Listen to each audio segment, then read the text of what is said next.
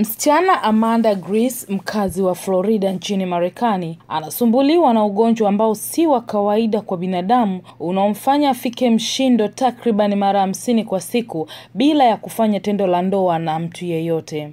Msichana huyo mwenye miaka ishirini na nne sasa anasema alianza kugundua na tatizo hilo akiwa na miaka sita na amekuwa akikabiliana nalo bila kujua hatima yake ni nini, na amekuwa akikutwa na hali hiyo muda wowote mahali popote bila kukutana kimwili na mtu mwingine. Ilitakiwa iwe ni kitu kizuri kama ambavyo inatakiwa. Imekuwa maumivu kwangu kwa sababu inatokea sana. Inawezekana ikatokea hata mara hamsini kwa siku au mara tano mpaka kumi kwa saa moja. Inatokea nikiwa na rafiki zangu au nikiwa sehemu tu na watu wengine.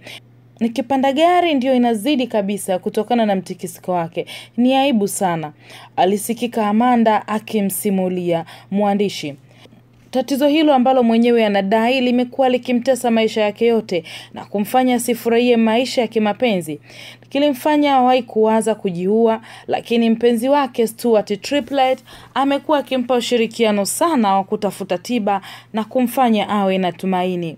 Kutokana na hali hiyo, Amanda ameshakutana na baadhi ya madaktari kujaribu kupata tiba, lakini mpaka sasa hajapata ufumbuzi kutokana na ugonjwa huo kutokuwa na tiba ya moja kwa moja, hivyo kumpa njia mbadala za kukabiliana nao ikiwemo kufanya mazoezi. Tatizo hilo kitaalamu linajulikana kama persistent genital arousal disorder ambalo hutokea mara chache sana kwa binadamu.